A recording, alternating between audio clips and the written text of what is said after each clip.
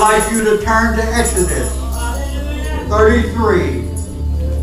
Second book of the Bible, Genesis, Exodus 33. Amen. Starting with verse 1, I'd like to read those 11 verses in your hearing. Exodus 33.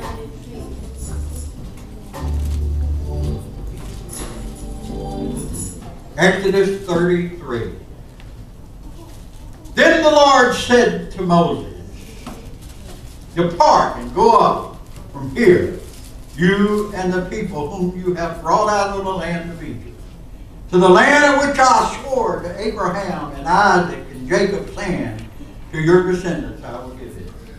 And I will send my angel before you, and I will drive out the Canaanites and the Amorites and the Hittites and the Perizzites and the Hivites and the Jebusites.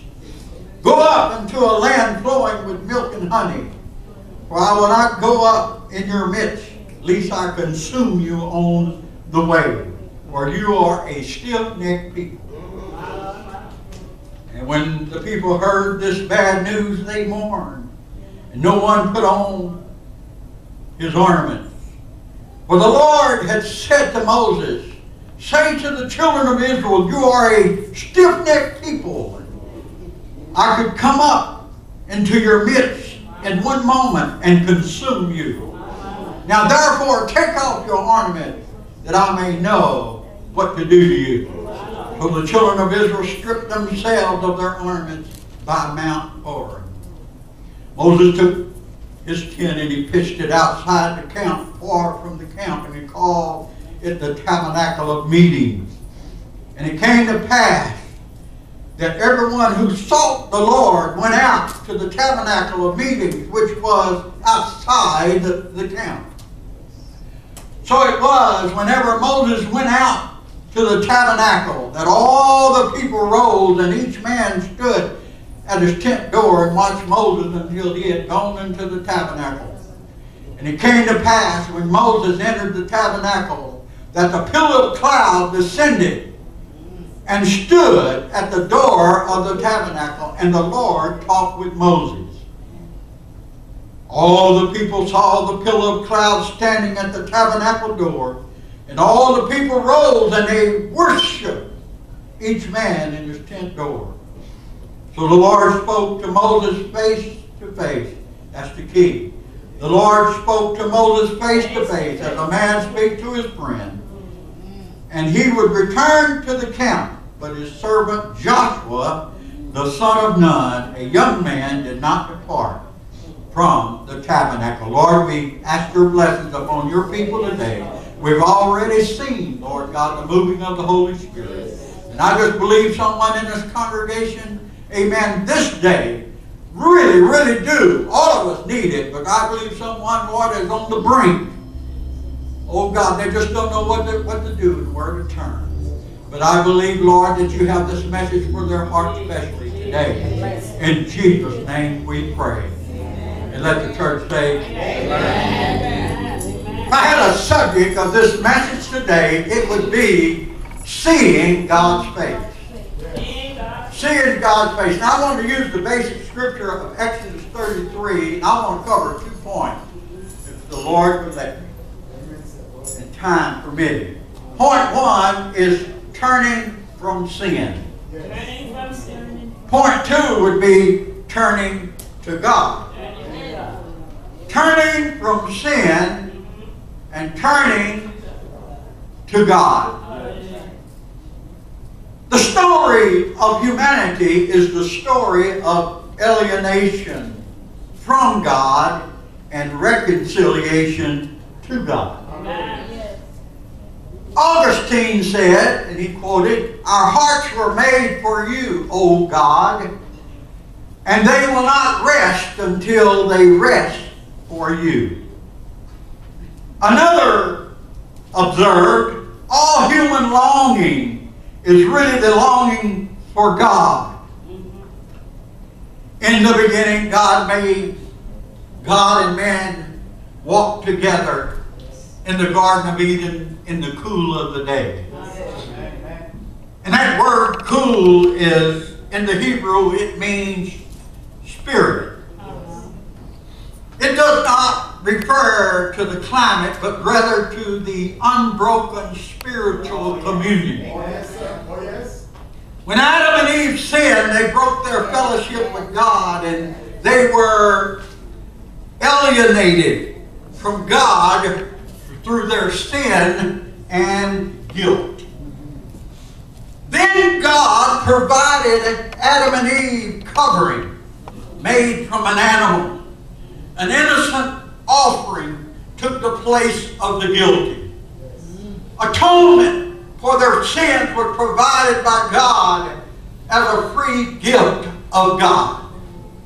All they had to do was to accept God's grace and forgiveness by faith, and the would be restored. Amen? Amen.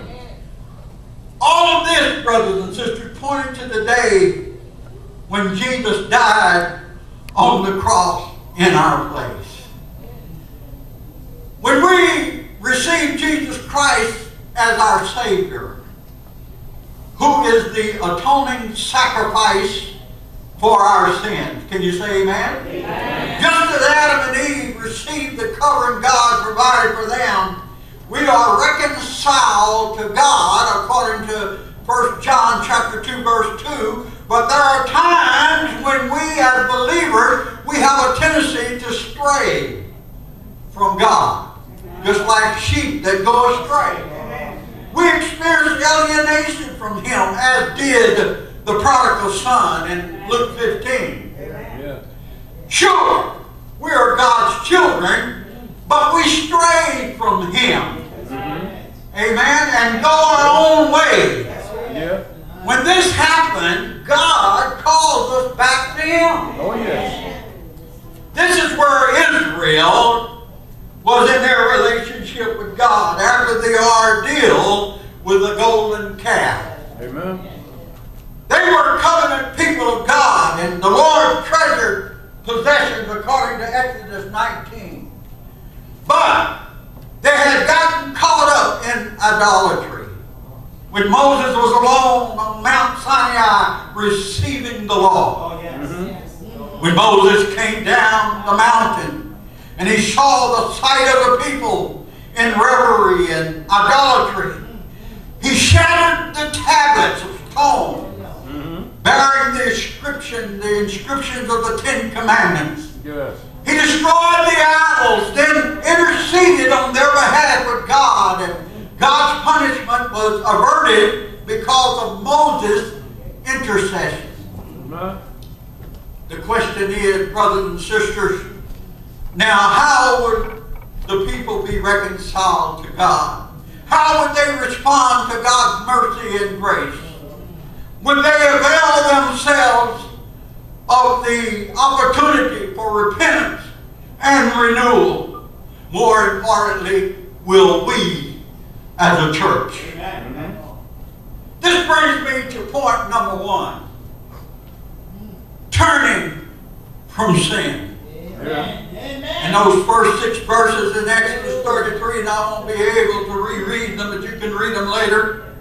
Two things occurred on Mount Sinai that day, which was very important to understand. First, Moses interceded for the people, and he made an offering of atonement for them so that God would forgive their idolatry.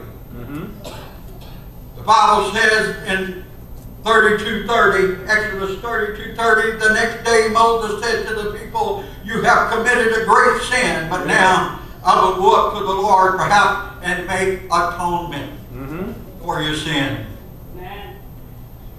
Second, God extended mercy and grace to his people on the basis of the atonement. Oh, yeah. Oh, yeah. Yes.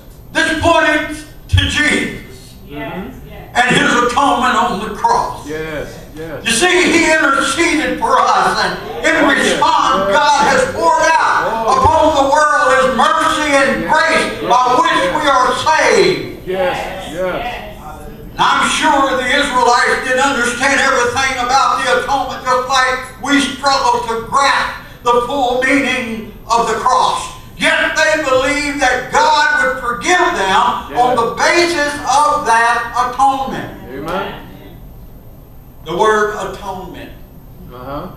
means to cover. Yes. It has the idea of bringing God and man together in fellowship. Oh, yes, yes, yes. You see, if you break the word down in its component, you get the meaning at one minute. All right.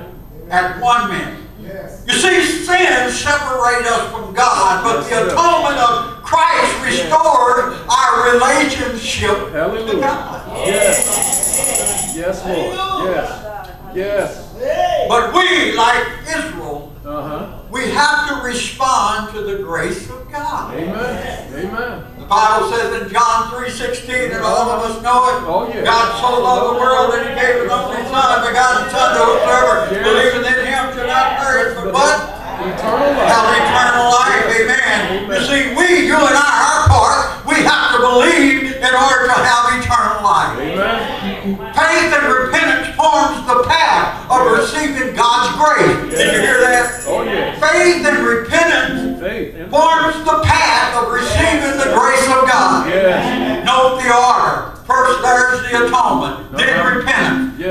and repentance are two sides of the same coin. Right. You see, repentance is only possible because God's grace has provided a way of salvation. Hallelujah. Grace does not benefit us unless we trust Christ and Christ alone to save us and we repent of our sins. Yes.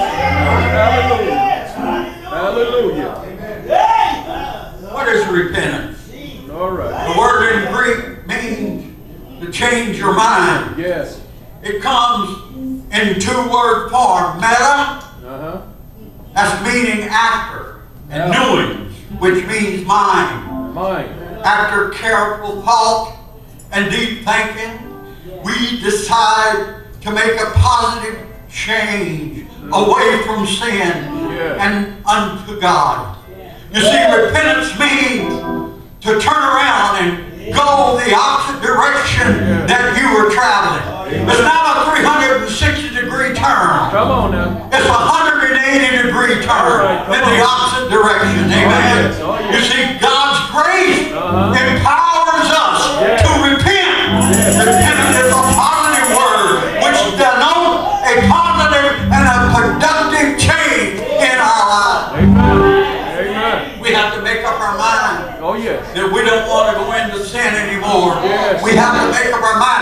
We can come to the altar and we can cry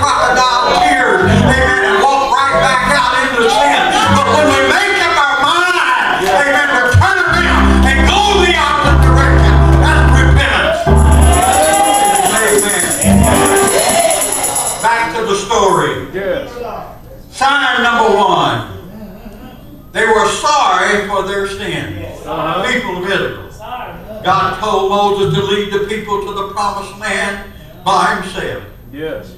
I will not go up with you because you are stiff-necked people, and I might destroy you on the way.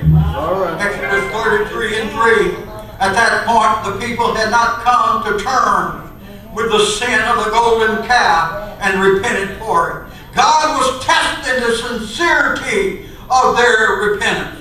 When the people heard that God said what God had said, the Bible said they mourned. They felt remorse. They regretted what they had done in worshiping the golden calf. They weren't just sorry they had got caught. They truly and deeply grieved over what they had done and how they had offended the Lord their Maker. You see, there's an emotional side of repentance. Uh-huh. Paul writes about the necessity of sorrow and true repentance. He wrote to the Corinthians in 2 Corinthians chapter 7 verse 10. He said, Godly sorrow brings repentance. Godly sorrow. Now, we are not to say at this, we're not to stay at this place of mourning. We're not to stay there. You see, back in the early days, in the Great Awakening in the 1700s, back to Howard, the 1800s, churches, what, they had what they call a mourner bench.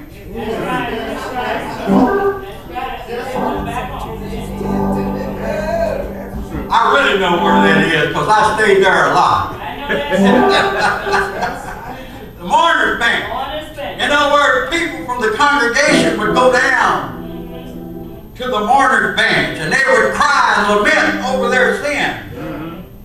And of course, after we would express sorrow, amen, for our sin and confess to God, we were to celebrate uh-huh. mm-hmm. afterward because we felt like that God has forgiven us. Amen.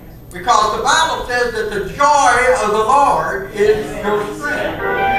Amen. We were glad to get rid of those We were glad to get off that mourner's bench. Amen. Because people would look over there in the church and thought that we was a bunch of criminals. it would have been set, been set free of the mourner's bench. Hallelujah. But it wasn't long before I would go back. That doesn't cheapen the grace of God. Those were some of the decisions I had made. Amen. That was wrong. The sign number two. They were sorry for their sins. Sign number one. Sign number two, that they took off their ornaments. Three times we read that they took off their ornaments. First, as an act entirely on their own. And the other two references record the Lord commanded them to take them off. God said that He would indeed, Amen, He would, uh, would decide, sorry, what to do with them. In Exodus 33 and 5. Yes. You see, but their repentance, their action, touched the heart of God. Yes. Amen, it did. Amen. Why? Because I'm going to tell you. God was reconsidering now going up with them uh-huh. and leading them into the promised land. You see, these stiff-necked people were finally showing signs of repentance and submission to God, who redeemed them. See, this story teaches us that faith and repentance do make a difference with God. You see, they removed their ornaments as a sign. Now listen, this is as a sign of humility before God. A total dependence upon His grace. The Bible says in James chapter 4, verse 6 says, God resists proud, but He gives grace to the humble. Amen. Amen. Humble yourself under the mighty hand of God, and He will lift you up. Amen. A sign of humility. And of course, I, I'm quite sure some churches and some organizations, they have made a doctrine out of removing the jewelry and the ornaments. You know, they made a doctrine out of it. All this was a sign, brothers and sisters, of humility. Now, I'm not saying today that you have to move, remove your earring before you come and pray as a sign of humility. I'm not saying that, that you missed the point, that's what you were thinking about. But the point is, we have to humble ourselves under yes. the might. We have to come yes. with a broken and a contrite spirit, Amen. a humble spirit, yes. a different